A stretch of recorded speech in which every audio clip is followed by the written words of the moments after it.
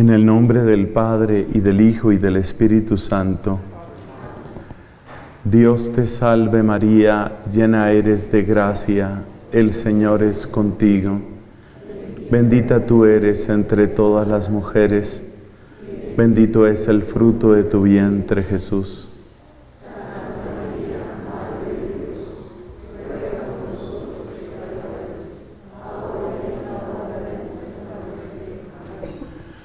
En el nombre del Padre y del Hijo y del Espíritu Santo. Amén.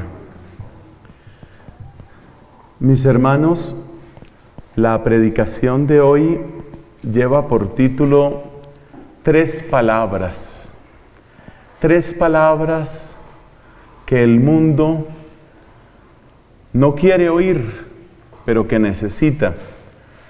Tres palabras con las que hay una relación que algunos llaman de amor-odio, ese love-hate, que a veces se menciona también en las relaciones humanas. Pero yo quiero contarles por qué vamos a hablar de estas palabras. Un esfuerzo que estamos haciendo aquí en Familia Espiritual es ayudar a brindar mapas, ofrecer mapas, mapas para ubicarse en la vida, en la realidad, en la sociedad. Mapas para responder a la pregunta ¿qué está pasando? Hay cosas que están sucediendo demasiado rápido, especialmente en lo que tiene que ver con la niñez, la juventud, la familia, el futuro. Cosas que nos interesan a todos y que están sucediendo a velocidad vertiginosa, muchas veces sin comprender Ustedes lo pueden ver muy bien en las redes sociales. La gente se queda espantada. ¿Por qué hacen eso? ¿Por qué aprueban esa ley? Ahora, ¿con qué más van a salir? Realmente uno se despierta y uno muchas veces no sabe qué noticia se va a encontrar. El problema de la perplejidad es que una persona confundida, una persona perpleja, como veíamos en una predicación pasada, una persona confundida es una persona manipulable. Por eso veíamos en el tema de la confusión que cuando una persona está confundida, muchas veces hay intereses detrás de esa confusión. Por la razón que digo, porque una persona confundida es una persona más fácil de manejar. Entonces nosotros luchamos aquí contra la confusión, luchamos contra la perplejidad. Y una manera de luchar contra la confusión es ofrecer un mapa. Tal vez usted tiene la experiencia, seguro que sí, de llegar a otra ciudad, de llegar a otro lugar y darse cuenta que uno no se ubica. Pero si le presentan un mapa, o si uno lo ve por internet, uno dice, ya entiendo cómo es esto. Recuerdo la primera vez que fui a una ciudad que quiero mucho, en el sur de Bolivia, bueno, centro sur de Bolivia, que es Santa Cruz, la famosa Santa Cruz de la Sierra. Yo no entendía cómo funcionaba esa ciudad porque el esquema básico en Bogotá es una cuadrícula, ¿no? Tiene excepciones, pero lo básico es una cuadrícula. Se llaman carreras las vías que van de sur a norte, calles, las vías que van de oriente a occidente y se utiliza un sistema de numeración. Es relativamente sencillo. Hay excepciones, pero ese es el sistema básico. Una vez que usted sabe eso sobre Bogotá, se mueve con cierta facilidad en Bogotá. Bueno, en Santa Cruz la cosa no es así.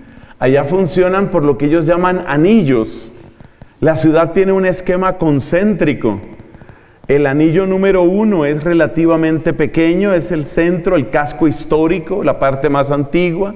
Y alrededor de ese casco ha ido creciendo la ciudad y les ha parecido muy bien a los cruceños llamar a eso anillos, anillo 2, 3, 4, 5.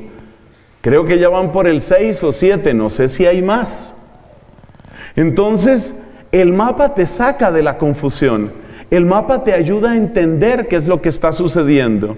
El mapa hace que seas más difícil de engañar. El mapa hace que tú puedas levantarte por encima del momento difícil y puedas decir, yo veo una ruta aquí. Esa es la introducción. ¿Por qué hacemos esta clase de predicaciones? Porque queremos ofrecer mapas. ¿Y por qué mapas? Porque no queremos vivir en la confusión. Porque queremos que todos, pero muy especialmente nuestros jóvenes, encuentren esos mapas y puedan moverse. Lo paradójico del asunto es que uno descubre la necesidad del mapa tal vez cuando uno está un poquito mayor en la vida.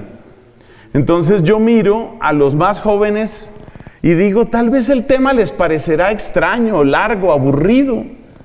¿Qué tiene que ver eso conmigo? Yo me pregunto, por ejemplo, un Juan Diego Durán, por decir algo. Estará pensando, ¿y esto para qué? ¿Qué, qué hago yo aquí? ¿Por qué? ¿Yo qué hice? ¿Por qué me mandaron acá?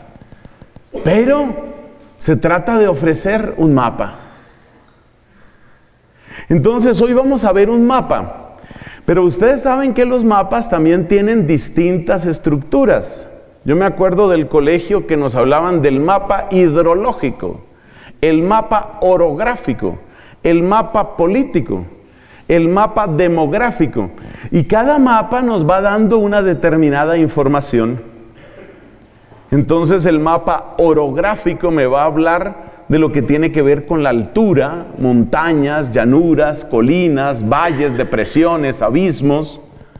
El mapa hidrológico serán ríos y así sucesivamente. Hoy vamos a ver un mapa que tiene que ver con tres palabras, con tres parámetros, si lo quieres llamar así. Tres palabras. Esas tres palabras que están anunciadas desde que anunciamos la predicación, creo que no las hemos dicho, ni en la propaganda de invitación, ni todavía en estas palabras. Las tres palabras son, en primer lugar, la verdad. En segundo lugar, la obediencia. Y en tercer lugar, el poder. Tres palabras. Entonces vamos a hacer un mapa, como un mapa térmico. Todos conocemos los mapas térmicos, temperatura, Vamos a hacer como un mapa térmico de qué sucede con una palabra como la palabra verdad, o como la palabra obediencia o la palabra poder. Y hemos dicho que lo que tienen en común estas tres palabras es que nuestro tiempo, nuestra cultura, tiene una relación que podemos llamar de amor-odio, love-hate, amor y odio con estas palabras. Entonces permítame que le muestre en la segunda parte de esta predicación, permítame que le muestre por qué es verdad que tenemos relación de amor-odio con estas palabras. Por ejemplo, con la verdad. ¿En qué sentido amamos y en qué sentido detestamos la verdad? Cuando utilizo la primera persona del plural para decir amamos o para decir detestamos, lo que estoy diciendo es en general en nuestro tiempo, es decir, en la cultura actual. No digo que esa sea mi postura personal ni tampoco necesariamente la del grupo de personas que están aquí o quienes están siguiendo esta predicación por internet. Esas expresiones, amamos, odiamos, son expresiones que se refieren a lo que suele suceder en la cultura actual. ¿Por qué decimos que hay una relación de amor y odio al mismo tiempo con la verdad? Lo decimos porque resulta que si nos damos cuenta, si una persona dice, yo sé la verdad, de inmediato le caen todos y dicen, ahora tú eres el dueño de la verdad. Es decir, detestamos que una persona diga que tiene la verdad. Detestamos que una persona esté demasiado segura. Eso causa repulsión, especialmente, y este no es un punto accidental, especialmente se detesta cuando tiene que ver con lo bueno y con lo malo. En el tiempo en el que vivimos, la mayor parte de la gente prefiere que lo bueno y lo malo sean un asunto de escogencia personal. O sea que no vas a decirme tú lo que es bueno o lo que es malo. Yo lo escogeré. Ese es más o menos el modo cultural en el que nos encontramos. Entonces, en ese sentido, detestamos la verdad. Pero por otro lado, nos da rabia la mentira y queremos que nos digan la verdad.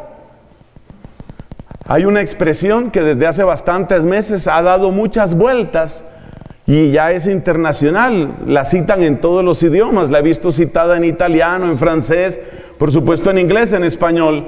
Fake news, fake news. Fake news, ¿qué es? Pues literalmente significa noticias falsas, información falsa. ¿Y por qué tenemos odio a las fake news? ¿Por qué tenemos odio a las noticias falsas? Porque las noticias falsas, las mentiras, sirven precisamente para empujar la opinión pública en una cierta dirección. Donde más se nota eso es en el campo de la política. Así, por ejemplo, cuando hay varios candidatos que están luchando por el poder, ojo, que esa es otra de las tres palabras, ya se aprendió las tres palabras de hoy, verdad, obediencia y poder. Pues obviamente en tiempo de elecciones los candidatos están peleando por el poder. ¿Y qué pasa si en el curso de una campaña, una campaña que implica muchísimo dinero, esfuerzo, gente, talento, yo logro desacreditar al otro como un mentiroso? Eso tiene un impacto muy grande. ¿O qué pasa si yo logro decir una mentira muy inteligente que atrae a los electores hacia mí? Entonces, Fíjate cómo tenemos esa relación de amor-odio con la verdad. Por un lado, no nos gusta que alguien diga, la verdad es, yo sé la verdad, yo tengo la verdad. Esas expresiones causan escosor y rechazo inmediatamente. Pero por otro lado, si queremos que nos digan la verdad, de hecho, muchas de las personas que han sido maestros de la mentira son los que más exigen que les digan la verdad. Es el caso, por ejemplo, de muchos líderes de la mafia. Líderes mafiosos que se han caracterizado por engañar a todo el mundo, a toda una cultura, al gobierno, a los impuestos, a la policía, a los medios de comunicación, no toleran que nadie de su círculo les diga una mentira. Si me vas a decir una mentira, te mueres. Ese era más o menos el sistema de uno de los famosos narcotraficantes de este país. El que me engaña una vez no me engaña dos. Y no me engaña dos porque es que no sobrevive, lo mato. O sea, fíjate hasta dónde llega a ser dramático el tema de la verdad y la mentira para una persona de esas. Puede decirse que para lograr las mentiras más inteligentes hay que conocer las verdades más profundas. Entonces, tenemos una relación compleja con respecto a la verdad, con respecto a la verdad y la mentira. Examinemos qué sucede con el tema de la obediencia. Obediencia no es una palabra que tenga buena prensa en nuestra época. Cuando nosotros hablamos de obediencia, tal vez la primera imagen que viene a la mente es la de sumisión, docilidad, y eso no es algo demasiado atrayente. Que a uno le digan que uno es dócil, que uno es obediente, pocas personas tomarían eso como un elogio. Entonces, en ese sentido, detestamos la obediencia. Pero, pero por otro lado, la gente sí quiere obedecer. Lo que sucede es que hay que saber a quiénes obedecen. Por ejemplo, a mí me llama mucho la atención los temas de salud y los temas de belleza. Porque en los temas de salud y de belleza la gente hace cosas increíbles en absoluta obediencia. Me voy a someter a tal régimen de ejercicio, ejercicio físico. Y sin duda, al entrenador en el gimnasio se le hace caso. Obediencia absoluta. Ustedes saben, esas personas que tienen miles y miles de seguidores, por ejemplo en YouTube, son los famosos YouTubers, y esas personas tienen un poder impresionante. Bueno, amigas, ahora les voy a contar cómo es la dieta del pepino. Todo el mundo atento. Miles y miles de personas se someten religiosamente, escrupulosamente a la dieta del pepino. Porque el pepino es lo que va a cambiar mi vida. No sé cómo no había descubierto el pepino. ¿Qué era de mi vida sin el pepino? y hacen caso completamente. En las pandillas juveniles la obediencia es estricta. Es impresionante lo que se logra en términos de obediencia. Hay personas que tienen un tremendo, una tremenda capacidad de convocatoria, con una característica conflictiva, y es que muchas veces los que tienen mayor capacidad de hacerse obedecer, y esto también enlaza con el poder, por supuesto, los que tienen mayor capacidad de hacerse obedecer no son personas que dicen verdad. Hay personas a las que las han pillado abierta y claramente en la mentira y eso parece no quitarles nada de su liderazgo. es decir, son personas que tienen una gran capacidad de liderazgo y sin embargo no son personas verdaderas, son personas que mienten, son personas que se contradicen que continuamente se contradicen y están a la vista sus contradicciones y sin embargo se hacen obedecer. Entonces, detestamos la obediencia porque no queremos ser los bobos, los bobos dóciles, no queremos ser. Presumimos de ser independientes, pero a la vez en nuestra independencia resultamos tremendamente dóciles y en ese sentido tremendamente obedientes a ciertas cosas. Lo que es necesario, lo que hay que hacer. Yo he visto gente prácticamente cambiar de religión, aunque sigan llamándose católicos, simplemente porque llegan a un entorno nuevo y sienten que en ese entorno nuevo no se puede seguir hablando como antes ellos hablaban y no se puede seguir afirmando lo que ellos antes afirmaban. En la experiencia que viví en Irlanda durante los años de mis estudios allá, porque me mandó mi comunidad, yo atendía población hispana. Se pueden imaginar que entonces las personas que yo veía llegar a Europa, en este caso a Irlanda, las personas que yo veía llegar eran personas que venían de nuestros países. Entonces vi llegar ecuatorianos, mexicanos, chilenos, colombianos, centroamericanos. Los vi llegar allá. Y con bastante frecuencia, para mi tristeza, la persona que yo veía llegar se empezaba a transformar. Quizás era una persona que tenía unas determinadas convicciones, pero parece que se da cuenta, aquí eso no funciona, aquí la cosa es de otra manera, y por aquello de mimetizarse con el ambiente, terminan haciéndole caso a ese mismo ambiente. Por ejemplo, alcoholizándose o por ejemplo entrando en relaciones de adulterio o cosas así parecidas. Esa es una obediencia. Eso es hacerle caso al ambiente.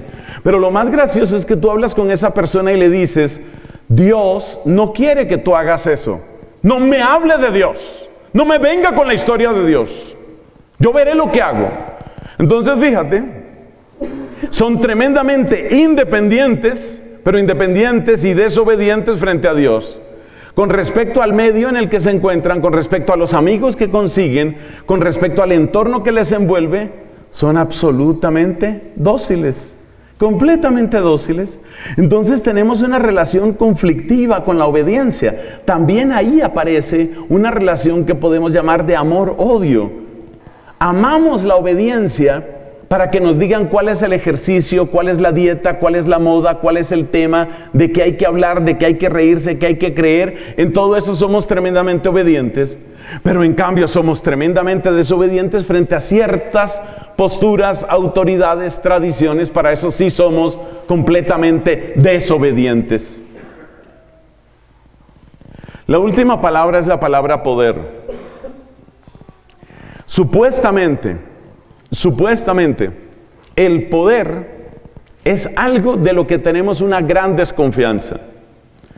Hay una frase que es muy famosa, si ustedes buscan en internet van a encontrar el autor, yo no lo recuerdo en este momento, es una frase muy conocida, el poder corrompe y el poder absoluto corrompe absolutamente. Esa es la síntesis de esa frase. El poder siempre corrompe. Entonces tenemos una actitud escéptica, distante, crítica con respecto al poder, pero por otro lado queremos el poder. Queremos poder económico, queremos poder de influencia, queremos poder político muchas veces, el que puede conseguirlo, poder mediático. Una de las cosas que llama la atención en un cierto sector de la población es que se dan cuenta que nunca van a tener poder si no entran por ciertos atajos, si no entran por ciertos caminos. Así, por ejemplo, Hemos encontrado personas que dicen, bueno, para conseguir el poder que tengo que hacer. Y una de las maneras de conseguir el poder es a través de lo estético, a través de la belleza nuevamente.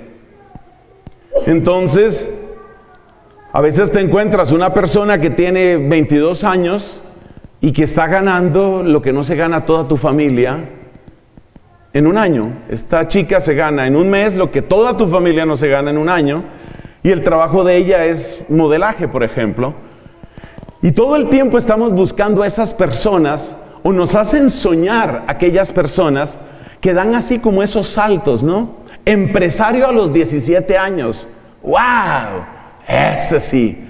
Y en el fondo tal vez quisiéramos ser esa persona, quisiéramos ese tipo de éxito, quisiéramos ser de aquellas personas que son respetadas, aquellas personas que tienen que ser oídas, aquellas personas que cuentan. No quisiéramos una vida desabrida, una vida inocua, quisiéramos una vida que tuviera impacto. O sea que criticamos el poder, pero a la vez lo deseamos. En resumen, y ahí termina la segunda parte de esta predicación, en resumen que tenemos, pues que hay tres palabras con las cuales hay relaciones muy complejas, relaciones de amor y de odio, palabras que detestamos y palabras que al mismo tiempo amamos. Por lo menos una pregunta que uno puede hacerse, y esta, aquí entramos a la tercera parte de la predicación. Una, persona, una pregunta que uno puede hacerse es, ¿quién está detrás de eso? Es decir, ¿qué o quién determina que algunas cosas nos resulten en cierto momento tan deseables y en otro momento tan odiosas?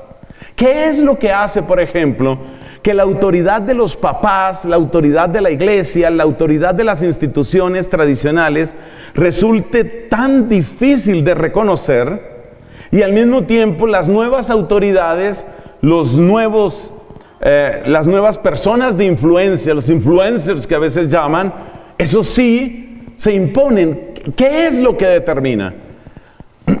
El esfuerzo que vamos a hacer en lo que queda de esta predicación es tratar de esclarecer un poco eso. ¿Qué es lo que hace que algunas verdades nos resulten tan atrayentes mientras que otras nos produzcan desconfianza? ¿Qué es lo que hace que algunas obediencias nos resulten tan atrayentes y otras nos produzcan tanta desconfianza? Y lo mismo con el poder. ¿Por qué cierto poder, cierto modelo de poder nos resulta tan atrayente y otro nos da tanta desconfianza?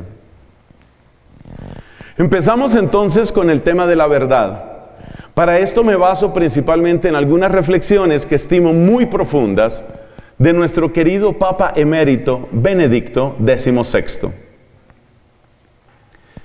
Hay varias obras en español a muy bajo precio en libros digitales que ustedes pueden conseguir.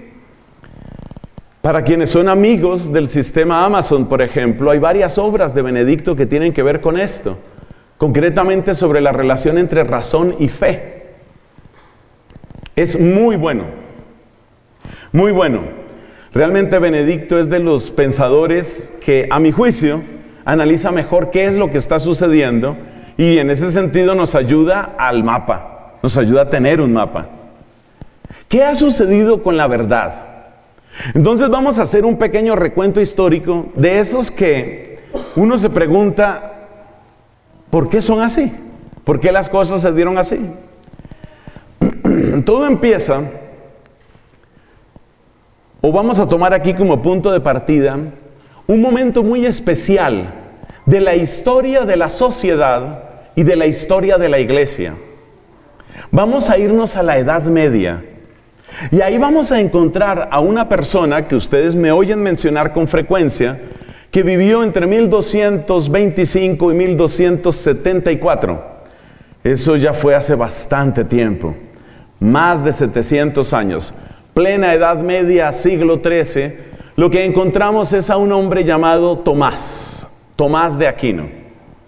Santo Tomás de Aquino, en el siglo XIII, plantea las cosas de un modo muy interesante, porque para Santo Tomás de Aquino, la razón es un regalo de Dios y la fe es un regalo de Dios y Dios no se contradice.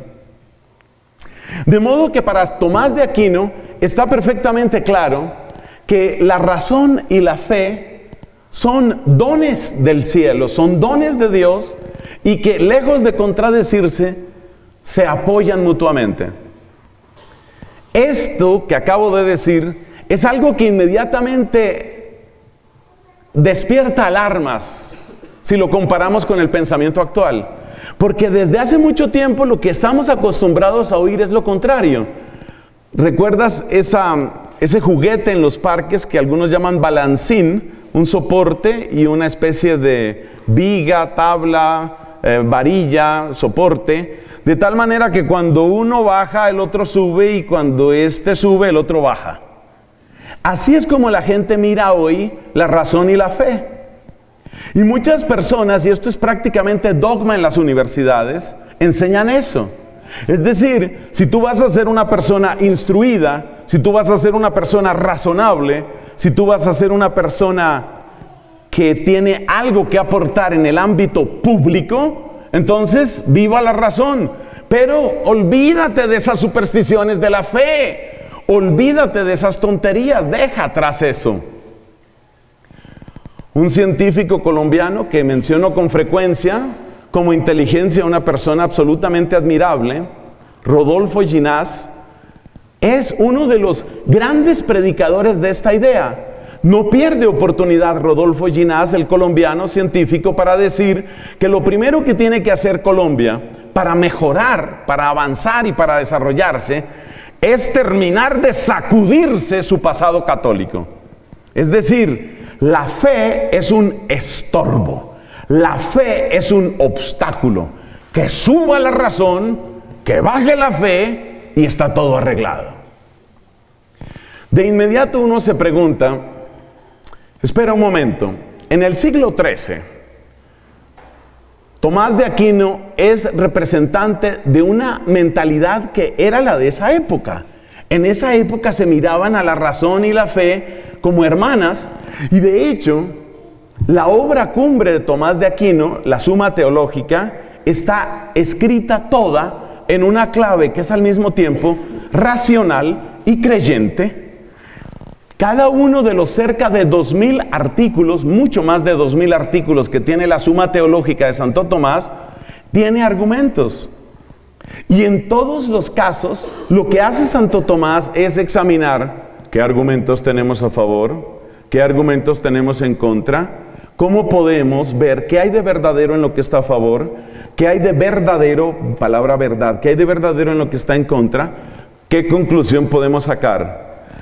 Para saber si nuestra conclusión fue suficientemente sólida, a partir de esa conclusión, ¿cómo responde usted a las objeciones que antes se presentaron? Ok, hemos entendido. Pasemos a la siguiente pregunta. Ese es Santo Tomás. El promedio de objeciones que él tiene en la suma teológica está sobre tres o cuatro objeciones por cada pregunta. Vamos a suponer que son unas 2.500 preguntas, que creo que son más.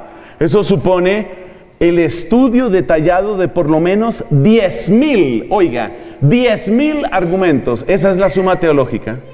Este es un hombre que estudia 10.000 argumentos, 10.000 discusiones. Y al mismo tiempo llora de emoción ante la Eucaristía y al mismo tiempo le pide a Dios acierto cada mañana. Y cuando se está muriendo, en sus últimas palabras dice, todo lo que yo he escrito queda sometido a la sede de Roma.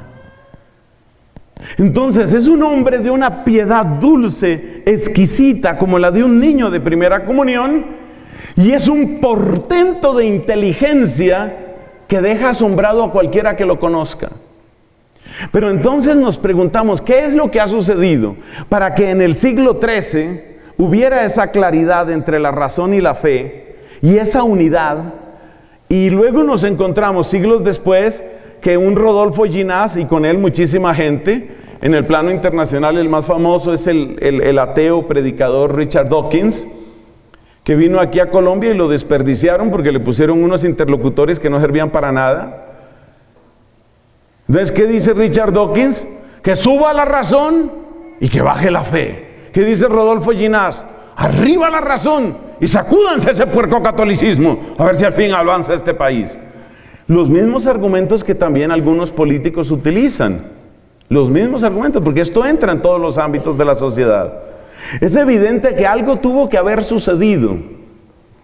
Y eso que tuvo que haber sucedido es objeto de estudios interesantísimos para todos los que quieran profundizarlo. Los buenos estudios de historia de la iglesia ayudan exactamente para esto que estamos diciendo. Un buen estudio de historia de la iglesia ayuda para esto. La verdad es que lo que sucedió fue como un ataque escalonado. Vamos a llamarlo un ataque escalonado. ¿A qué me refiero con eso? A que el cambio no se dio completamente en el curso de unas décadas, ni fue que en una mañana la gente estaba completamente convencida de la compatibilidad entre razón y fe y al día siguiente no podían verlas juntas. No, la cosa no es exactamente así. ¿Qué es lo que ha sucedido?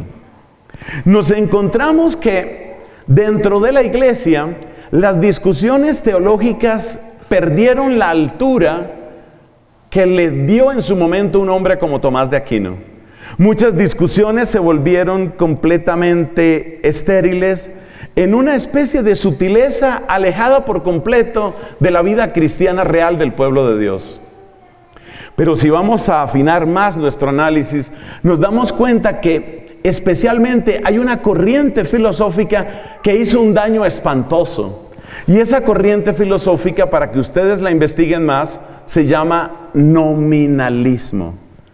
El nominalismo ve en los enunciados universales únicamente palabras. Son solo palabras. Es decir, no existen las esencias universales, sino solo existe el uso práctico de palabras para nombrar un conjunto de cosas. Ese es el nominalismo. Mientras eso sucedía dentro de la iglesia, fuera de la iglesia había otros que empezaban a sentir envidia por las posturas de poder que tenían los eclesiásticos en aquel tiempo. Efectivamente, los grandes poderes en la Edad Media sabemos bien que eran el poder de la nobleza y el poder del clero. Entonces los que no eran ni nobleza ni clero, por ejemplo, la clase comerciante que va surgiendo en Italia en el siglo XV y luego en el siglo XVI, esa clase comerciante no tiene una particular devoción por la religión, ni tampoco tiene muchas perspectivas de entrar en la nobleza. Ese tipo de personas necesitan otra forma de pensamiento, necesitan, quieren, buscan otra forma de pensamiento. Estamos en los orígenes de otra palabra clave para tus investigaciones, la palabra renacimiento. Entonces, la primera palabra que hay que investigar, este es un mapa, no te voy a dar todo, no, no te voy a contar lo que hay en cada edificio, pero te voy dando las palabras y el, el, ¿qué? el sueño mío, la esperanza mía es que te vas a motivar y vas a buscar un poquito más. Hay cosas muy interesantes sobre esto.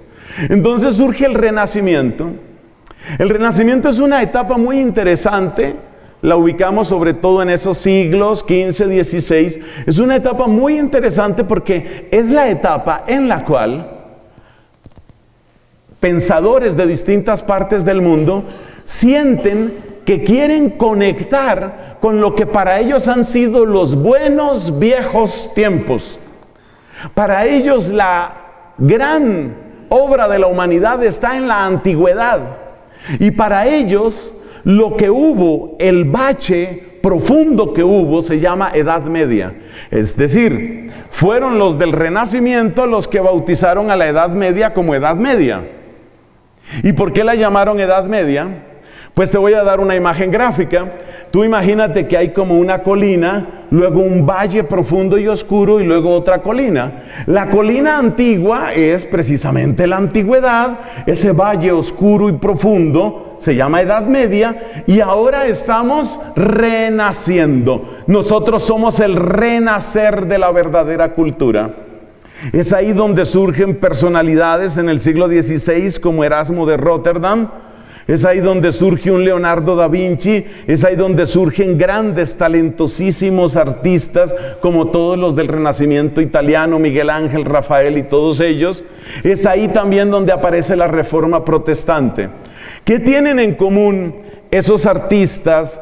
Eh, Martín Lutero y los reformadores protestantes y estos humanistas como Erasmo de Rotterdam, ¿qué tienen en común? Que todos ellos quieren conectar por encima, ellos quisieran hacer un puente por encima de ese valle oscuro que para ellos es la Edad Media. Pero ojo, fueron ellos los que decidieron que ese era un valle oscuro. Fueron ellos los que empezaron a llamar a esa etapa de la historia de la humanidad oscurantismo. Es decir, la labor de desprestigio de la Edad Media, ese nombre también viene de ellos, la labor de desprestigio de la Edad Media la hicieron precisamente los hombres del Renacimiento. Entonces, por ejemplo, un Miguel Ángel quiere hacer esculturas que sean comparables a las de los antiguos escultores de Grecia. Esa famosa escultura de las más perfectas, dicen, de la humanidad la del discóbulo, el hombre aquel que está a punto de lanzar un disco, es anatómicamente, estéticamente magnífica. Entonces Miguel Ángel toma como referencia, no las tristes esculturas del tiempo de Santo Tomás, toma como referencia la escultura antigua. Erasmo estudia el griego, estudia el hebreo, estudia el latín y quiere conectar con esa época. Es en ese momento en donde el latín toma toda su fuerza como lenguaje de las ciencias. Ustedes saben que todos estos grandes intelectuales se comunicaban en latín. Esa era la lengua en la que ellos escribían. Ellos no escribían en inglés, en francés o en alemán. Ellos escribían en latín. Y ellos sentían que estaban conectando con esa antigüedad. ¿Qué es lo que quiere Lutero en el mundo cristiano? ¿Qué es lo que quiere Lutero? Lutero lo que quiere es omitir la iglesia, saltarse la iglesia. El dicho famoso de Lutero, sola escritura, ¿qué significa? No me revuelvan con iglesia, no quiero iglesia. ¿Got it? Ese es Martín Lutero. ¿Lo entendiste? Iglesia, no, no me interesa. Y entonces Lutero tiene la idea de que es posible saltar sobre el valle de la muerte, es posible saltar sobre ese valle oscuro. Resulta que en ese valle llamado por ellos oscurantismo, en ese valle oscurantista, hubo un hombre llamado Tomás de Aquino que era capaz de hacer diez mil preguntas y responderlas. O sea, fíjate el grado de calumnia. Es muy importante que todos entiendan esto. Los que ahora tenemos hoy aquí, bendito Jesús, y los que luego escuchen estas palabras. El nombre Edad Media significa lo que está en la mitad entre la gloriosa antigüedad y nosotros los gloriosos. Eso es lo que significa el término Edad Media. Es decir, el término Edad Media o Edad de la mitad entraña ya una calumnia. Ese proceso se empieza a acelerar a través de dos cosas que suceden. Una es el surgimiento de la ciencia moderna. Ustedes no piensen que los primeros científicos eran ateos. Ateos son personas con muy baja cultura filosófica, como por ejemplo el ya mencionado Richard Dawkins, que vive todavía, o el recientemente difunto Stephen Hawking. Stephen Hawking era un hombre, un talento inmenso, gigantesco para la ciencia física, pero su formación filosófica realmente da vergüenza ajena. Es una cosa miserable lo que tenía ese hombre de filosofía. Pero como él tenía el gran talento de la ciencia, él creía que con su ciencia podía hablar de todo. Podía descabezar a Dios, podía acabar con la religión, podía declarar de todo. Bueno, allá llegaremos con el favor del Señor a aclarar un poco más eso. Entonces, ¿qué, ¿qué sucede? Surge la ciencia moderna. Y entonces la ciencia moderna no surge de espaldas a Dios. Esa es una de las grandes calumnias que nos han dicho y por favor para quienes están tomando sus apuntes, no se les olvide que hay que tener como libro de referencia uno escrito por un italiano llamado Vittorio con doble T, Vittorio Messori, Messori con doble S, Vittorio Messori. Y la obra de él que se consigue gratis en internet se llama Leyendas Negras de la Iglesia. Ese libro hay que leerlo. Porque una de las grandes mentiras que se ha dicho es todo lo que tiene que ver con el caso de Galileo. Galileo era más casi teólogo que matemático o físico. Isaac Newton escribió muchísimo más de interpretación bíblica que de ecuaciones diferenciales, cálculo integral o leyes de gravitación. Todos ellos eran personas fascinadas por el misterio y fascinadas por la religión, pero el surgimiento de la ciencia moderna y los resultados de impacto cercano en las tecnologías que tocan la vida de las personas le fueron dando una popularidad creciente popularidad creciente. ¿En qué fecha, en qué siglo debemos ubicar Galileo, Newton, esa transformación? Eso es siglo XVII. Entonces el surgimiento de la ciencia moderna va poco a poco creando otro modelo de autoridad. La autoridad no la tienen simplemente los autores como por ejemplo Plinio el Viejo, como Aristóteles o como los escolásticos. Para ellos eso es basura. Y así se sigue enseñando la filosofía. Ese es el miedo que yo tengo cuando una persona me dice que va a estudiar filosofía o que está estudiando filosofía. Porque el modelo anglosajón de estudio de la filosofía es, vamos a hablar de los grandes de la antigüedad. Sócrates, Platón, Aristóteles. Si el curso es más completo, bueno, vamos a hablar también de Heráclito, de Parménides. Vamos a entrar con esos autores. Y después de que le muestran a uno eso, entonces pasan a las escuelas que ya eran filosóficas y morales, los epicúreos y los estoicos. Y de ahí, prepárense para el brinco. De ahí en adelante hay que caer prácticamente en el siglo XVII, siglo XVI, XVII con René Descartes. Es decir, que para estos autores de filosofía, no se pensó nada en la humanidad entre más o menos el año 200, 300 de nuestra era y el año 1500 son mil años de oscuridad y ellos bautizan, siguen bautizando eso. En la escuela anglosajona de filosofía se sigue bautizando a eso como oscurantismo. Y entonces las universidades de mucho prestigio, que por supuesto tratan de parecerse cada vez más al modelo anglosajón, que le inyectan en la cabeza, por ejemplo, digamos un nombre al azar, Juan Diego Durán. Entonces, ¿qué le van a inyectar en la cabeza a Juan Diego? El día que Juan Diego pise una universidad, lo que le van a inyectar en la cabeza es, no sea estúpido de acercarse a la Edad Media. Usted necesita es de los epicúreos y estoicos hacia atrás, por decir algo, del año 300 hacia atrás, y del año 1550 para acá. Todo lo demás es una cosa espantosa, es una cosa vergonzosa. Es vergüenza de la humanidad, era cacería de brujas, era el tiempo de la Inquisición, era una gente que andaba con unos hábitos blancos, de mangas amplísimas y que andaba quemando gente.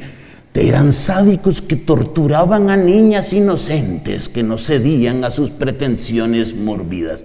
Esa es la versión de filosofía. Entonces, ¿qué pasa? Que como los muchachos llegan a la universidad en general muy mal preparados en filosofía y llegan y se encuentran con unos profesores que les inyectan a presión en las venas este tipo de cosas, pues es una fábrica de ateísmo lo que tenemos en este momento en las universidades. Es una fábrica de ateísmo y de desprecio a la iglesia. Porque cada vez que quieren despreciarte, te dicen inmediatamente escolástico. Mira, eso es muy escolástico. Pero sigamos en lo que íbamos. Primero vino el nominalismo, después vino el renacimiento, después el surgimiento de la ciencia moderna y entonces sucede en Francia. En el siglo XVIII, ya desde finales del XVII y en la primera mitad del XVIII, surge con mucha fuerza un movimiento que es el movimiento de los intelectuales. Estos son los racionalistas. Ellos consideran que es la razón y solamente la razón la que puede guiar la vida humana. Entonces ahí te encuentras, por supuesto, los enciclopedistas que todavía siguen hablando de Dios. Todavía ellos mencionan a Dios. Pero ese Dios tiene las siguientes características. Es un Dios como puro recurso intelectual. Es decir, como explicación última de un universo que queda muy difícil de explicar de otra manera. Es decir, ese Dios está a kilómetros, mejor dicho, a miles de millones de años luz y en el fondo no afecta lo que nosotros vivimos y tenemos. O sea, es un Dios lejano, es un Dios puramente intelectual y lo más importante para ellos, y es en lo que más va a insistir un Señor que odió a la iglesia, yo diría con lo más íntimo de sus entrañas y riñones, un hombre llamado Voltaire, que es elogiado en el mundo anglosajón. Hay una razón por la que los anglosajones quieren tanto a Voltaire, porque el enemigo central de Voltaire era la Iglesia Católica. No se dan cuenta los que elogian a Voltaire que Voltaire en realidad estaba criticando todo tipo de religión, incluyendo toda forma de protestantismo. Entonces, otra vez, nominalismo, renacimiento, surgimiento de la ciencia moderna y en el siglo XVIII, surgimiento de la clase intelectual. La enciclopedia, la enciclopedia, la enciclopedia nace con un propósito específico, reemplazar la Biblia. El conocimiento que sí puede guiar la vida humana, el conocimiento que sí puede guiar la sociedad, el conocimiento que sí es respetable es el conocimiento racional como se plantea en la enciclopedia. Ese es el conocimiento que vale. Lo demás, lo demás son supersticiones. La palabra favorita de Voltaire es superstición. Todo eso son supersticiones. Los sacramentos son supersticiones. Los sacerdotes pues son unos impostores que se aprovechan de la ignorancia de la gente y le siguen celebrando unas ceremonias vacías llamadas procesiones, llamadas novenas, llamadas triduos, llamadas adoraciones. Todo lo que hace la iglesia es repugnante, es hipócrita. Todo lo que hace la iglesia es únicamente para explotar a la gente. Ese es el mensaje que está en Voltaire. Los enciclopedistas eran un poco más, podríamos decir, mesurados, pero su propósito no era muy distinto. Una vez más, lo que ellos estaban buscando es lo mismo que buscaban los mercaderes de las costas de Italia, por ejemplo, en Venecia. Es decir, buscaban un nicho de poder porque el clero y la nobleza estaban ya demasiado antiguos y copaban todo el poder. Bueno, el asunto hace crisis, ¿no? Finalmente, en la segunda mitad del siglo XVIII, el asunto hace crisis total. Esa crisis total se llama la Revolución Francesa. La Revolución Francesa, 1789, es la crisis total. Me parece que el 14 de julio es precisamente la fecha que ellos recuerdan y celebran por la toma de la Bastilla. Entonces, ¿Qué es lo que viene a hacer la Revolución Francesa? La Revolución Francesa viene a decir, nosotros no podemos tolerar más que el poder se quede en el clero y en la nobleza. Queremos que haya derechos que sean para todos. Queremos acabar con la obediencia. Queremos un nuevo modelo de poder porque hemos encontrado un nuevo modelo de verdad. Yo fuera usted copiaba esa frase. El verdadero lema de la Revolución Francesa no era liberté, égalité, fraternité. No, ese no era el verdadero lema. El verdadero lema de ellos, el verdadero propósito de ellos era, queremos poder, porque no soportamos obediencia al clero y a la nobleza. No soportamos obediencia. Y tenemos la verdad de nuestro lado, porque la verdad es la que da la razón. Bueno, así se instaura el racionalismo oficialmente con la Revolución Francesa. ¿Qué sigue después de la Revolución Francesa?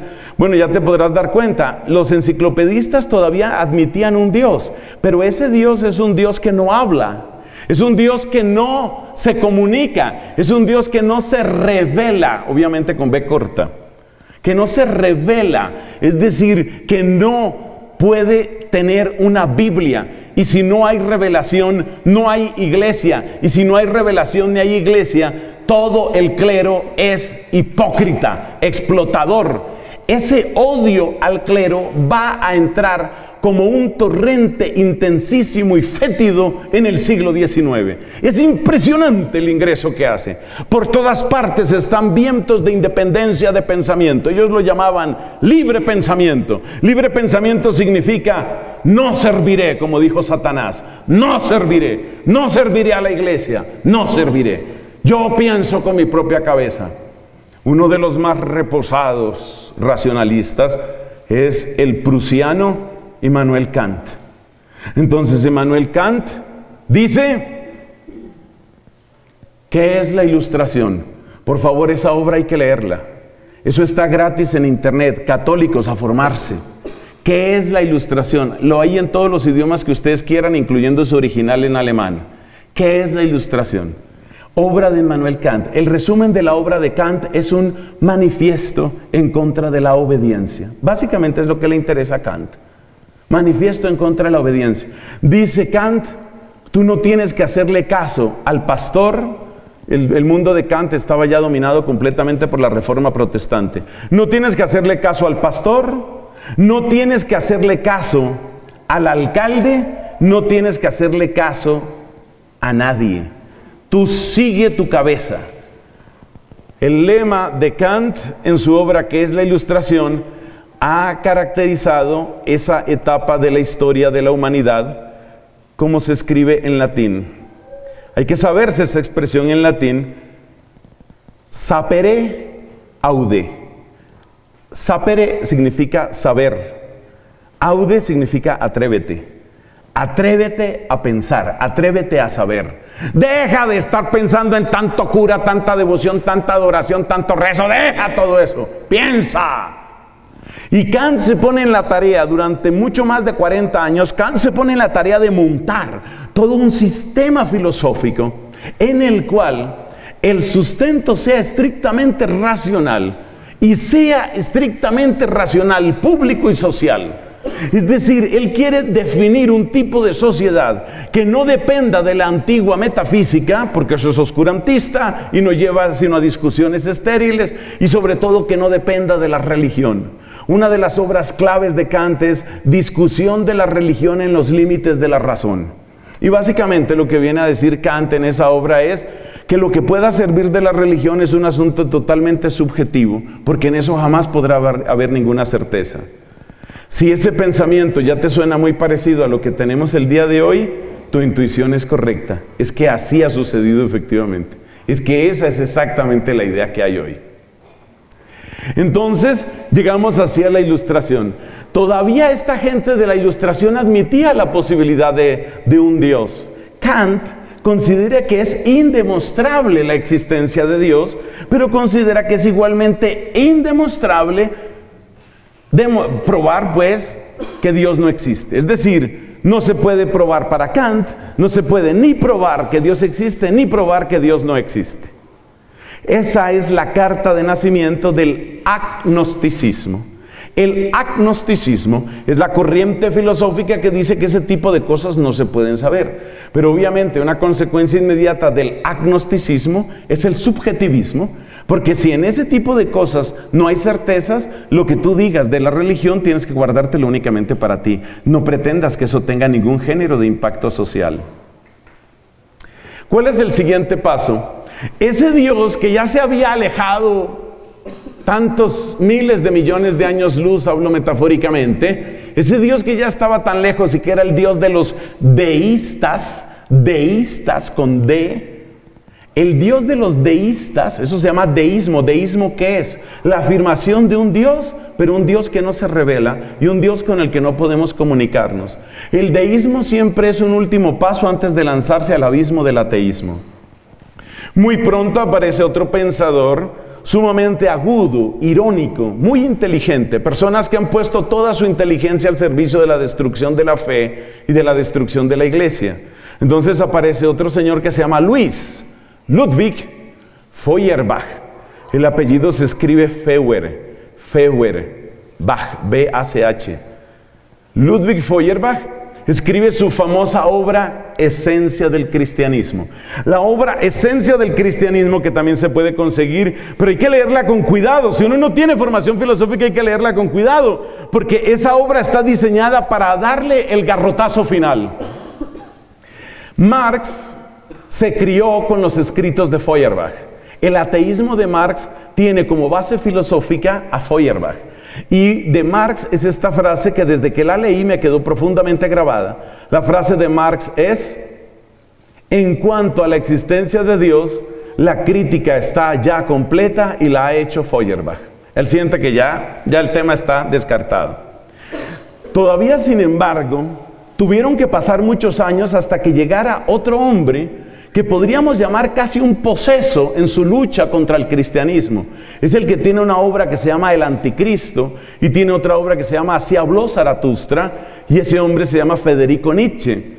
Federico Nietzsche tiene en su obra sobre Zaratustra, tiene la famosa parábola, era un gran escritor Nietzsche. Lamentablemente todo en contra de, de la filosofía clásica y en contra del cristianismo, pero es un gran escritor indudablemente. Entonces, Nietzsche, a finales del siglo XIX, dice en su parábola del ermitaño, él cuenta que un grupo de caminantes van por un bosque y se encuentran una, una cabaña. Y en esa cabaña había un ermitaño, un viejito piadoso, que no hacía sino rezar. Y entonces estos caminantes ven a ese viejito rezandero y se miran entre ellos y dicen, este pobre todavía no se ha dado cuenta de que Dios ya se murió. Dios ha muerto. Y viene la frase blasfema por excelencia, que es la frase que va a abrir las puertas a una cantidad de movimientos agresivos en el siglo XX. No solo dice Dios ha muerto, dice Dios ha muerto, nosotros lo matamos. La razón por la que Nietzsche tiene esa afirmación es porque, ¿por qué dice él que nosotros matamos a Dios? No porque él creyera que Dios existiera, sino nosotros matamos a Dios quiere decir Dios era una enfermedad de nuestra cabeza y ya nos curamos de esa enfermedad. Ese es el pensamiento de Nietzsche.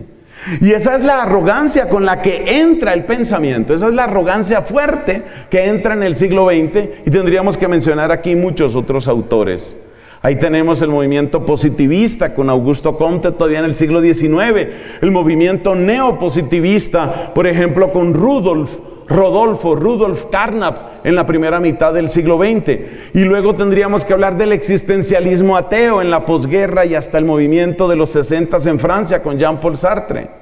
Es decir, hay una tradición muy fuerte, una tradición muy agresiva, una tradición que empieza a ver la razón como la única posibilidad de una vida genuinamente humana. Cuando ustedes oigan hablar de Bogotá humana, de Colombia humana o de movimientos humanistas, ustedes deben saber que esa expresión humano tiene esta raíz exactamente. Porque cuando se fundó precisamente la primera asociación humanista que se fundó en Gran Bretaña, el propósito era reunir a los ateos de Gran Bretaña. Para ellos la idea es que tiene que subir la razón y bajar la fe. Tiene que subir el hombre hasta llegar a ser lo que Nietzsche llamaba el superhombre, Überman, tiene hasta llegar al superhombre y Dios tiene que hundirse. Entonces, seremos más humanos cuanto menos religión haya. Eso es lo que está detrás de ese movimiento humanista. una de las obras clásicas está también gratis en internet, hay que leerla con cuidado, hay que prepararse muy bien. Estos escritores tienen mucha, mucha fuerza.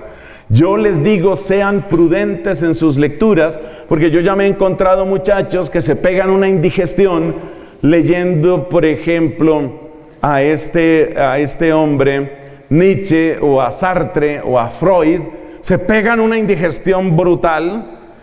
Otro autor del siglo XIX que no hemos mencionado es Schopenhauer. Entonces, Schopenhauer y Nietzsche se pegan una indigestión terrible y lo único que les queda claro es que uno no debe creer en Dios. No son capaces de argumentar con tres líneas, no son capaces de presentar un argumento, pero se les ha llenado de tal manera de basura y de estiércol el corazón que son incapaces de admitir la fe en Dios. Hay que tener mucho cuidado con esto. Lo cual también demuestra la necesidad de una preparación filosófica sólida, que es lo que no se está teniendo. No la están dando los colegios. Y me parece que buena parte de lo que dan las universidades, incluyendo las universidades católicas, deja demasiado que desear. Entonces, esa es la historia de por qué en nuestro tiempo, cuando se habla de razón, la gente automáticamente piensa que hay que hacer disminuir la fe, y cuando se levanta el hombre y lo humano, la sociedad humana y toda esa humanidad y el humanismo, ¿Por qué les contesto? Porque una de las obras clásicas de Jean-Paul Sartre, predicador del ateísmo, que logró con sus predicaciones que decenas de jóvenes se suicidaran, ojo con eso. Era una meta de Sartre lograr que la gente se suicidara, porque eso significaba que habían tomado por fin la vida, eh, eh, se habían apropiado de su vida. O sea, estamos hablando de un terreno minado, un terreno serio. Yo no digo que no haya que conocer a estos autores, hay que conocerlos, pero hay que conocerlos desde ese ámbito crítico y me da mucho dolor ver que en la mayor parte de las universidades entran en una admiración del cociente intelectual y no advierten a los estudiantes sobre estos peligros. Entonces yo he conocido varias facultades de teología, no me hagan hablar por favor, he conocido varias facultades de teología y ¿qué es lo que me encuentro? Yo veo a los profesores hablar con esa admiración, el genio de Nietzsche, el genio de Schopenhauer, el genio y el genio de Sartre llevó al suicidio un poco de gente. ¿Eso no te importa, profesor? ¿Eso no te duele? Entonces hay que tener mucho cuidado con esto. La obra de Sartre que les dije se llama El existencialismo, es un humanismo. Por favor, ustedes tengan el radar encendido sobre estos temas. ¿Qué significa humanismo ahí? También soy consciente de que hay muchísimos autores que no hemos mencionado, ustedes entienden las limitaciones de tiempo que tenemos. Pero ¿a qué se llega con todo esto? ¿A qué se llega con todo esto? Se llega con respecto a la verdad a qué?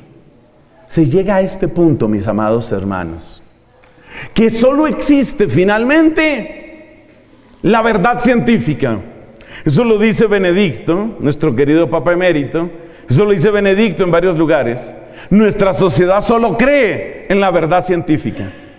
Entonces, da lo mismo, papá y mamá, que dos papás o dos mamás. Esperemos lo que diga la ciencia. La ciencia es el único árbitro, la ciencia es el único maestro, la ciencia es la única autoridad la ciencia. Yo me pregunto si ese principio se aplicara para otras cosas como se hace con el tema de las parejas del mismo sexo. Me pregunto qué sucedería si se aplicara eso.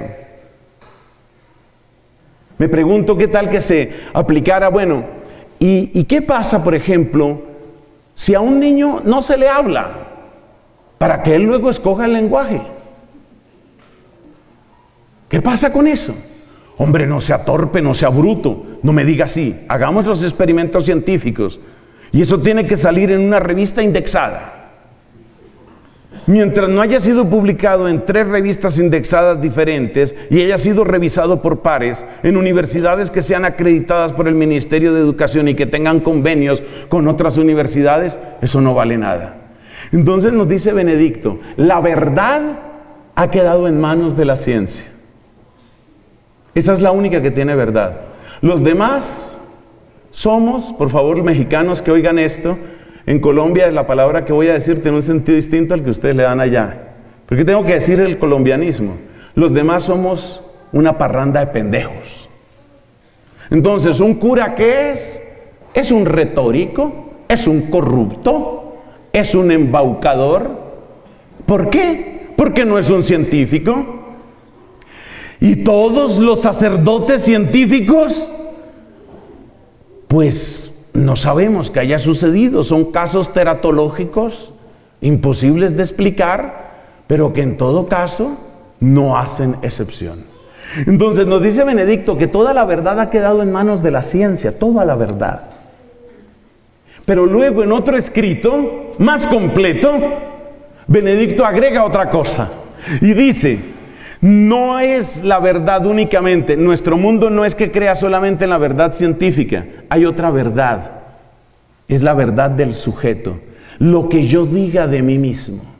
Por ejemplo, si yo empiezo a decir a partir de las 8 y 52 minutos, son las 8 y 50 en este reloj. Si yo empiezo a decir a partir de las 8 y 52, de ahora en adelante, yo no soy un hombre de 53 años sino una niña de 11. Atención todos. Y por consiguiente, a partir de las 8 y 52 me hacen el favor y me llaman niña, porque voy a ser niña a partir de las 8 y 52. Y resulta que en colegios, porque esto ya ha pasado, en colegios y escuelas e institutos, como los llaman allá de España, si un profesor se atreve a llamar a un alumno que ahora se identifica como mujer, lo llama de una manera masculina, está ofendido. Ustedes saben que los millennials viven ofendidos. Oh, ah, uh, uh. me ofendió. Por consiguiente, ¿qué hay que hacer? Denunciarlo. El profesor debe perder su cátedra, debe ser humillado en público. Una vez que haya lamido el piso repetidas veces y haya descubierto su error, entonces que jamás vuelva a enseñar. Eso no tiene perdón. Entonces nos enseña Benedicto que hay dos tipos de verdades que son en las que se creen hoy. La verdad científica y la verdad subjetiva. La verdad subjetiva es lo que tú quieras decir de ti mismo, especialmente en lo que tiene que ver con sexo, o ellos no llaman sexo, lo que tiene que ver con género. Esa es otra discusión que ustedes la pueden ver en distintos canales, como por ejemplo, les ofrezco siempre mi canal de YouTube que se llama Fray Nelson. Ahí pueden encontrar muchos materiales sobre esto de ideología de género. Pero ¿cuál es el grave problema que tenemos? y esto también lo estudia el Papa, el grave problema que tenemos es que cuando nosotros empezamos por ese camino, el camino de afirmar solamente verdad científica y verdad subjetiva, no hay espacio, no hay fuente y no hay autoridad para la moralidad pública. No puede haber una ética pública. La ciencia no puede crear una ética. Para los estudiantes, sobre todo estudiantes universitarios, sobre todo estudiantes de últimos años de secundaria, jóvenes profesionales, por favor mediten en esa frase que tal vez es lo más profundo que alcanzo a decir hoy desde el punto de vista del pensamiento. La ciencia no puede crear una moral. Porque la ciencia solamente detecta, estudia, sistematiza e intenta explicar hechos. Si esos hechos son buenos o son malos, no lo puede decir la ciencia. La ciencia me puede decir cómo se mata a una persona. Si eso es bueno o es malo, no me lo dice la ciencia. De hecho, se ha utilizado la ciencia para matar seres humanos considerados indeseables. Cuando los nazis utilizaron su sistema que ellos llamaron la solución final, es decir, la eliminación completa de la raza judía, contrataron, utilizaron los servicios de muy buenos científicos para lograr un sistema eficiente de eliminación de millones de seres humanos en número de cerca de seis. Y además de los judíos, por favor, no olvidemos la población gitana, la población católica, la población polaca y la población rusa, porque todos ellos fueron odiados por Hitler. Por eso tenemos a un Maximiliano María Kolbe en Auschwitz. Entonces, mis hermanos, la ciencia, la ciencia no te puede decir lo que es bueno y lo que es malo. Ah, tú puedes decir, me gusta o no me gusta. Ustedes recuerdan en la predicación que hicimos sobre los jóvenes, decíamos que a lo máximo a lo que llegan muchos de nuestros jóvenes es a decir, pues no estoy de acuerdo. Hasta ahí llega el joven. Pues no estoy de acuerdo. Algo así como, eso no me gusta. Pero los jóvenes, muchos jóvenes hoy han perdido la capacidad de decir, eso no está bien, eso está mal. No se ha perdido el todo, pero se ha perdido muchísimo. Entonces, ¿en dónde queda el tema de la verdad? Y con él los temas de la obediencia, porque esto va todo junto. Los temas de la verdad y los temas de la obediencia y los temas del poder, ¿cómo quedan ligados en nuestra época? Quedan ligados únicamente a la ciencia y al subjetivismo. Y entonces el vacío, sigo el hilo de las reflexiones de Benedicto, y el vacío que queda para establecer una ética pública, una moral pública, ¿quién lo llena? El positivismo jurídico. Es decir, hagamos leyes.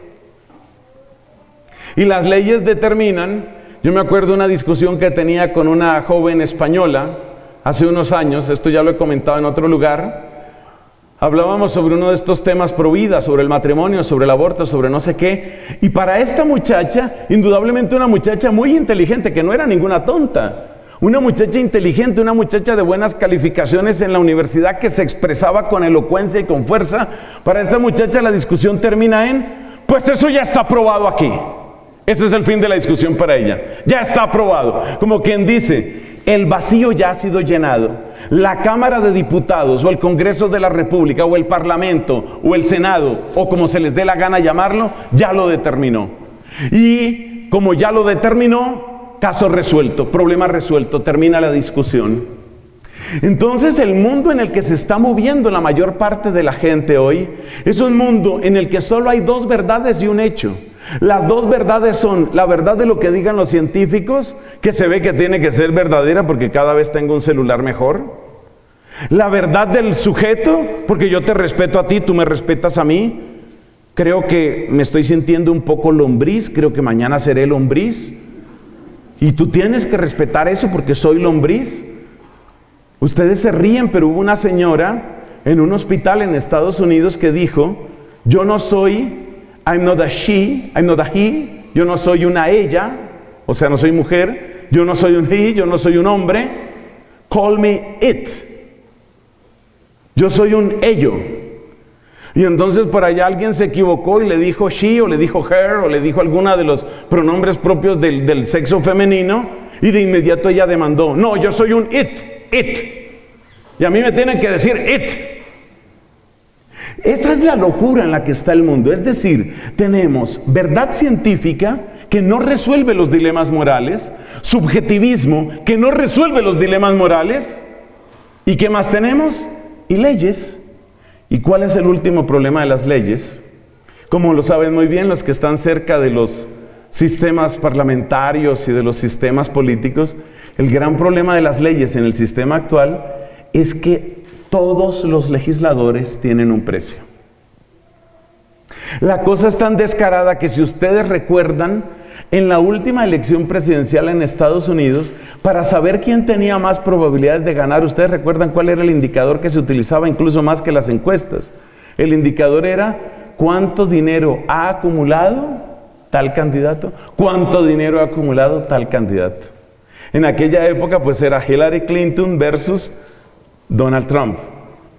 Y entonces más o menos la lógica era, Hillary Clinton ha acumulado, voy a decir una cifra, 60 millones de dólares en este momento, Trump ha, acumulado solamente 30 millones, luego esta elección es de Hillary.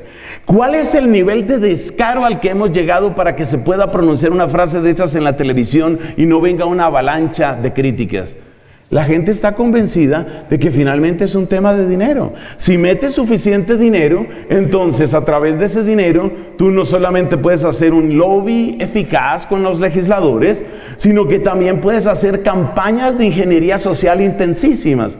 Acuérdense que, por ejemplo, la campaña pro aborto en Argentina ha recibido millones de dólares inyectados desde el extranjero. Ellos saben cómo se logran las cosas. Bueno, eso explica muchas cosas. Eso explica por qué tenemos esas relaciones de amor y odio con la verdad.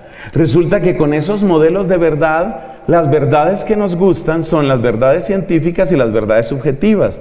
Y las verdades que no nos gustan son las verdades que tienen que ver con el espacio de lo que es bueno y lo que es malo, de lo que es moral o es inmoral. Ahí no hay espacio para la verdad, ahí no existe la verdad. Y ahí entendemos también el tema de la obediencia. Por eso ustedes se dan cuenta que todos los que reclaman obediencia siempre te presentan algún género de estudio científico. Estudios científicos han demostrado que la grasa abdominal se debe a estas y estas circunstancias. Esto que usted está comiendo tiene un efecto. Lo chistoso de esos estudios es que esos estudios son verdad, pero si tú vas al detalle del estudio científico, el estudio científico habla de una correlación posiblemente causal en un 0.02%, pero ya eso da para hacer una publicidad. Estudios han demostrado que si usted come más de este alimento, entonces usted va a ser una persona todavía más deforme. ¿Ve? Entonces, de esa manera, se presenta un cierto estudio científico y apenas la gente oye que hay un estudio científico y apenas la gente de su subjetividad dice, ah, yo quiero ser como esa modelo, yo quiero ser como ella, yo quiero ser ese vientre plano, plano. Yo quiero tener ese cuerpo, yo quiero ser como ese hombre. Entonces, desde la verdad subjetiva y desde la verdad científica manipulada, manipulada, nos llevan a donde quieren llevarnos. Y desde la verdad científica manipulada y la verdad subjetiva se maneja el tema del poder. Y tú logras las multitudes que quieres. Y tú logras hacer casi todo lo que quieres. Terminemos esta reflexión, como siempre solemos hacerlo, contando cuáles pueden ser los antídotos. Como comentaba hace tiempo en algunos de los cursos de filosofía, porque nosotros en otro tiempo hacíamos cursos de filosofía, Hace un tiempo que no hacemos cursos de filosofía, hay que hacer unos cursos. Ustedes se dan cuenta de la importancia que tiene la filosofía con todo esto que estamos diciendo. Bueno, como comentábamos en uno de esos cursos, la solución no es tratar uno de blindarse frente a la crítica. La solución no es encerrarse en una especie de pietismo. Ese fue uno de los recursos que en su momento surgió. Así, por ejemplo, en el siglo XVI, XVII tuvo mucha fuerza en la historia de la espiritualidad. Ustedes lo pueden ver, una tendencia que se ha llamado la devoción moderna. La devoción moderna que tiene su expresión cumbre en una obra, en una obra llamada Imitación de Cristo de Tomás de Kempis. La devoción moderna más o menos toma la siguiente actitud, que algo tiene de saludable, pero que es absolutamente insuficiente en nuestra época. La devoción moderna es que no te importe, que no te importe lo que hace el mundo, que otros van corriendo detrás de sus ídolos y mentiras que a ti no te importe. Tú recoge tu corazón, entra en la contrición, entra en arrepentimiento, adora a tu Dios, vuélvete de Él. Hay cosas buenas ahí, hay cosas muy buenas. De verdad que necesitamos ese espíritu de recogimiento, de arrepentimiento y de adoración. Pero el problema de la devoción moderna en su gran mayoría, ¿cuál es? El gran problema es que ese estilo de espiritualidad no intenta ningún género de comprensión ni de diálogo con el mundo exterior, sino que crea más o menos una burbuja blindada y en esa burbuja blindada nosotros aquí por lo menos sí sabemos quién es el Señor. Allá Allá en lontananza caen las bombas atómicas, hay tornados terribles, hay huracanes, erupción de volcanes, el mundo es un caos. Pero aquí nosotros sabemos quién es Jesús y nosotros le amamos. Sí, hay algo bueno ahí, hay algo muy bueno ahí. Hay un espíritu de resistencia que es una base, pero no es una base suficiente. Porque si no estás ayudando a entender ese mundo, tampoco estás ayudando a evangelizarlo y además estás en un grave peligro, que lo han experimentado muchas personas que han entrado por ese camino. Y es que en un momento dado la burbuja se rompe y muy fácilmente te vas de un extremo al otro. Entonces eso no funciona. Yo no recomiendo ese estilo de espiritualidad encerrada, no creo que ese sea el camino. Tampoco recomiendo lo que muchos están haciendo hoy y que tiene un nombre en la iglesia, se llama herejía modernista. Por favor, otra palabra para investigar. Usted en su papelito todavía le caben varias palabras. Ahí en su papelito escriba modernismo. La herejía modernista lo que intenta hacer es algo así como, tomémosla suave. A ver, la gente hoy no va a recibir ese mensaje ese mensaje de fidelidad matrimonial hasta la muerte. No van a entender eso. Ese lenguaje de virginidad hasta el matrimonio. No lo van a entender. Ese lenguaje de, aunque se quieran y sean fieles el par de lesbianas, por ahí no es el camino. No lo van a aceptar. Como no van a aceptar eso, entonces digámosle a la gente lo que sí va a aceptar. Entonces vamos a decirle a la gente, eso que ya estás haciendo, eso es. Y entonces la persona me mira, levanta los hombros y dice, tan grande y tan bobo. Y se van. Porque les parece una soberana estupidez. Es decir, que llegue una persona a hablarme de Cristo y que lo único que me dice es que la vida que ya estoy llevando es una vida cristiana, pues igual me has podido decir musulmán o lo que sea. Vete tú a lo tuyo, púdrete. Y eso es lo que está pasando donde el modernismo como herejía ha prosperado en el mundo occidental. ¿Qué es lo que ha sucedido en las sociedades, en los países donde este tipo de modernismo, modernismo significa aquí herejía modernista, eso es lo que significa modernismo. ¿Qué es lo que ha sucedido en los países donde el modernismo ha entrado? Es decir, donde están esos sacerdotes o esos pastores o esos predicadores complacientes que a todo van diciendo, mira, sí, en el fondo el ideal sería otra cosa. Pero como eso te va a quedar grande, como no lo vas a poder hacer, como de ninguna manera eso es posible, pues entonces ¿Qué le vamos a hacer? Siga por donde va. Simplemente no llame pecado a eso, para que no esté traumatizado, para que no le den ganas de suicidarse. Entonces tenemos el caso, por ejemplo, este sacerdote jesuita que está haciendo tanto daño, James Martin, que lo invitan a predicar a todas partes, incluyendo en el Congreso Internacional de Familias que organiza la Iglesia Católica en Irlanda. En todas partes tiene que estar James Martin. ¿Y qué predica James Martin? Mira, como tú eres una persona que tiene esa tendencia, entonces no te traumatices, porque si le decimos al pecador que está pecando, se ofende. Eso a ellos les duele. Ellos se sienten mal. Y si se sienten muy mal, a veces se deprimen. Y si se deprimen, a veces se suicidan. Entonces no podemos hablar de pecado, no podemos culpabilizar a la gente. Esa es la predicación que está haciendo ese hombre. Hay veces que toca nombrar las cosas así, con nombre y apellido. Llégueme el agua donde me llegue. Hay veces que hay que hablar así. Entonces usted se da cuenta de lo que está sucediendo y esos predicadores existen. Y también en Colombia hay algunos que predican de esa manera. A veces abiertamente, aquí son menos descarados, a veces en el confesionario. Entonces tenemos un caso muy doloroso. Hay un movimiento que yo he querido mucho, lo he respaldado mucho, lo conocí de cerca, se llaman los retiros de Emaús. Es un movimiento bello, hermoso, yo lo conozco, pero han sucedido tragedias en los retiros de Maús y digo esto precisamente porque amo los retiros de Maús, qué tragedias. De por Dios, señores de Maús, vigilen qué sacerdotes llaman a confesar. Entonces yo ya conozco el caso de una persona con severa tendencia homosexual, llega donde el sacerdote y el sacerdote le dice no eso no es pecado, eso no tiene problema. Usted quédese tranquilo, usted es así. Entonces acéptese, acéptese, acéptese. Entonces fíjese el daño tan salvaje.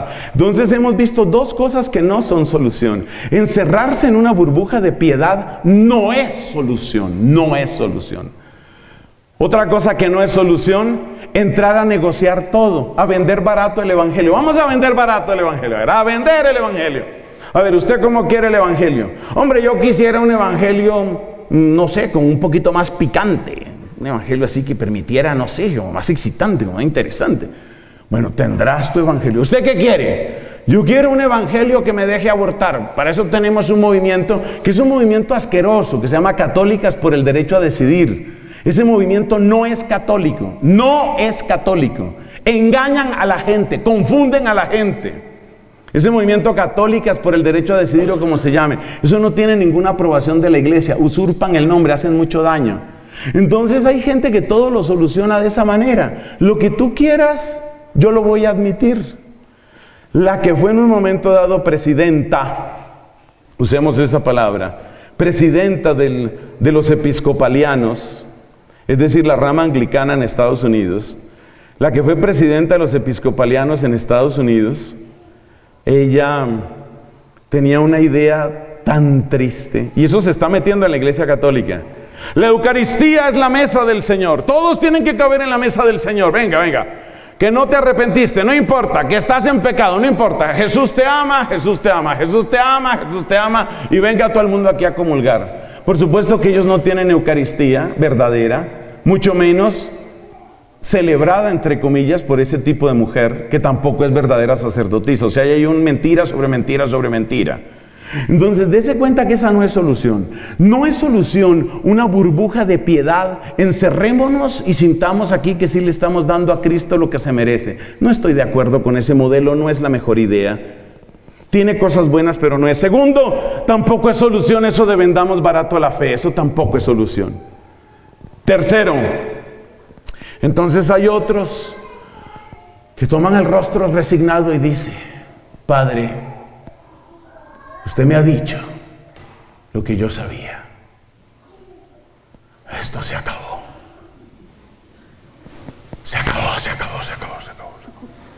No sé si conocen esas personas que hablan con suspiro. Se acabó, se acabó.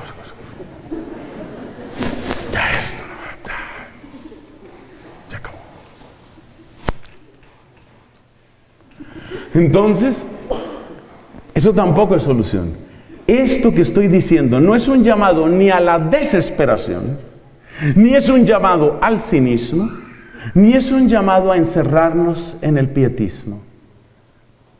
El camino es el camino largo. ¿Y cuál es el camino largo? El camino largo es, necesitamos fortalecer la base de nuestra fe. ¿Eso cómo se llama? Querigma. El anuncio de Jesucristo como Señor de nuestra vida. La grandeza del arrepentimiento por el pecado sin cambiarle el nombre a los pecados. La confianza absoluta en el poder de su misericordia. Eso lo necesitamos. Esa es la entrada. Si no se entra por la puerta del arrepentimiento, probablemente no se entra nunca. Ese es el camino. Y el reconocimiento de Jesús como el Señor, con júbilo, con convicción y con gozo. Segundo, necesitamos hoy más que nunca una formación muy completa. Y ustedes se dan cuenta por lo que hemos tratado de abreviar en esta charla, en esa formación se necesita historia, se necesita filosofía, se necesitan buenos, muy buenos maestros, muy buenos maestros, los cuales escasean. Son pocas las instituciones que uno puede recomendar. Para los que conozcan el idioma inglés, la Dominican House of Studies, la Casa Dominicana de Estudios de Washington, tiene buenas publicaciones, buenas revistas. El Instituto Juan Pablo II es completamente de fiar hasta el año 2016. De ahí en adelante puede que sí, puede que no. Debe haber cosas buenas y otras que no. El Instituto Juan Pablo II es de fiar. La inmensa mayoría de las publicaciones de la Universidad de Navarra son de fiar en estas materias. La gran mayoría, si no todas las publicaciones aquí en Colombia de la Universidad de La Sabana son de fiar, la gran mayoría. Hay páginas católicas bastante buenas. Hago una lista rápida. En temas doctrinales y espirituales no se les olvide corazones.org. Es una buena página.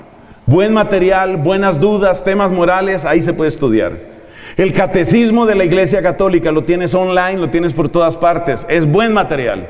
Buen material. Antes de que se les ocurra cambiarlo. Lo que la edición actual. Buen material. Es muy bueno. Ahí puedes aclarar muchas cosas.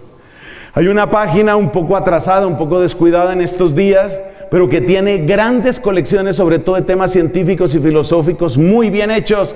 Se llama Arbo, con B corta, arbo.net. Arbo.net es buena. Buenos materiales hay ahí. Hace prensa. Existe Así Prensa. Así Prensa es una agencia de noticias que es buena, sí, en general es buena. Pero yo estoy hablando aquí de Hace Prensa con E, haceprensa.com es buena. Muchos artículos requieren pago, está esa limitación, pero bueno, ellos tienen ese modelo. Pero aún lo que tienen gratis es muy bueno. Me atrevo a poner mi propia página, frainelson.com. Hay muchos artículos. Si ustedes se van a las categorías, aunque necesitamos mejorar la semántica de esa página, frainelson.com tiene muchas cosas. Hay buenos canales para crecer en la convicción cristiana, para aprender a amar la riqueza de la iglesia, aunque le falta mucha estructura filosófica, teológica, pero da unos elementos fundamentales muy buenos. Hay un canal de internet que está creciendo de origen español llamado Tecton. T-E-K-T-O-N, Tecton. Tecton es un buen canal.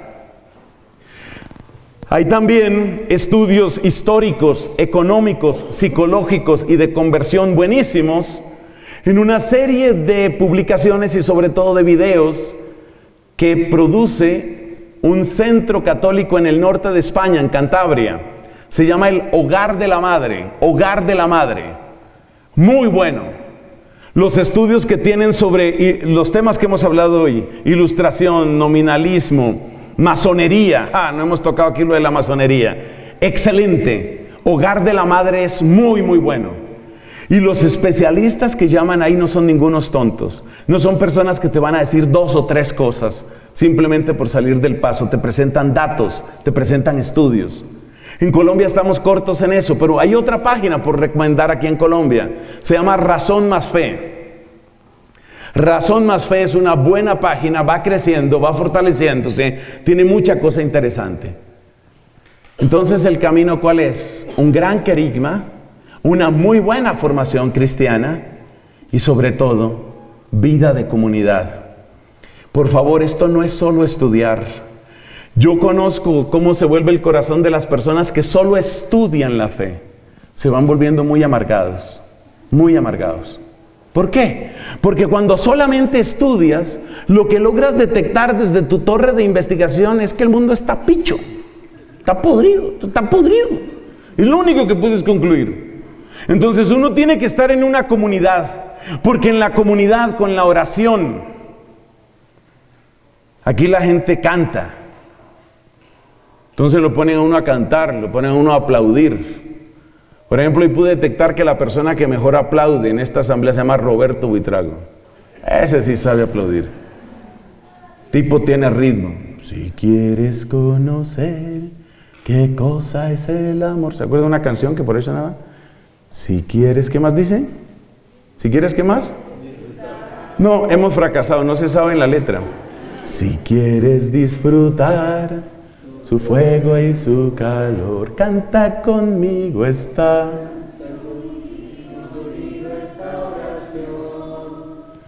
Ven Espíritu, ven Espíritu, ven Espíritu. Estoy mal yo.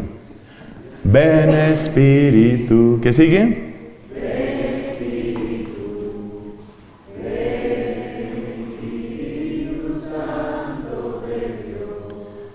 Fuera de cámaras, ustedes oyeron al hombre del aplauso, eso está muy bien. ¿Dónde está mi amigo? Por ahí está, eso, así es. Entonces, por ejemplo, yo miro, yo aprecio mucho a Roberto y él me ha ayudado también con esto de la cruz, él me ha dado unos consejos muy buenos. Yo tengo que recibir la cruz este año, espero que Roberto u otra persona me ayude. Roberto es una persona que nos ha hecho mucho bien. Entonces, mira, yo he visto a Roberto durante estos años. Roberto cuando llegó aquí era una persona eh, un poquito tiesa, un poquito tiesa, él parecía un poco egipcio, un poquito tieso. Entonces cuando yo veo a Roberto llevando el ritmo, ven espíritu, eso a uno lo hace sonreír, uno le da ternura. Entonces, por ejemplo, tengo aquí otro amigo que se llama, ¿usted se llama Juan Pablo, no es? Hay un Juan Pablo Palma, ¿sí es o no es? Juan David es. Juan David Palma. Juan David Palma, mire, mírenlo ahí un momentico, mírenlo, mírenlo. Mírenle su peinado, mire, eso es. Usted ve, es un muchacho que tiene su peinado, que tiene su estilo. Además, el hombre juega golf. Con F prolongada, golf. Es más, es un duro para el golf. Y está aquí y está feliz. Entonces cuando Juan David me da la paz a mí, me reconcilia un poco con la vida. Hay otro personaje que se llama Albita. ¿Dónde está mi amiga Albita? Allá está. Estas gafas hay que cambiarlas. No es usted a ver Albita, levante la mano, Albita. Esa es Albita. Ustedes ven, Albita es una persona tan joven, tan linda. A veces me da la paz, a veces no me da la paz. A veces me trae empanada, a veces no trae empanada. Pero Albita es muy linda. Entonces, cuando yo le doy el abrazo a Albita, el abrazo de la paz, cuando veo su sonrisa, cuando me da la paz un José Luis Durán, cuando veo que Jaime Barrera sí vino este viernes, ¿sí? Ese tipo de cosas le dan alegría a uno. Uno no puede vivir la fe cristiana estudiando sobre la pantalla de un computador. La pantalla del computador es necesaria para dar la pelea. Pero uno no solo necesita pelear, uno necesita alegrarse, necesita reírse, necesita sentirse amado. Necesitamos comunidad. Bueno, hermanos, tres palabras que el mundo no quiere oír, pero que tanto necesita. Verdad, obediencia y poder. Gloria al Padre, al Hijo y al Espíritu Santo